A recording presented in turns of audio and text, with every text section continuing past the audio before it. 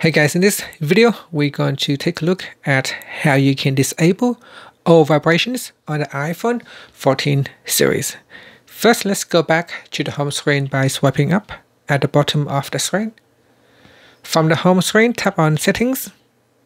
In Settings menu, swipe up to go down and tap on Accessibility.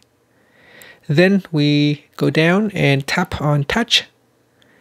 Next, go down and tap on vibration.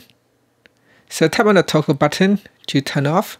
Once this is switched off, all vibration on your iPhone will be disabled, including those for earthquake, tsunami, and other emergency alerts. If you want to turn it back on, then tap on the toggle button to turn on vibration. Finally, you can swipe up to go back to the home screen. Thank you for watching this video. Please subscribe to my channel for more videos.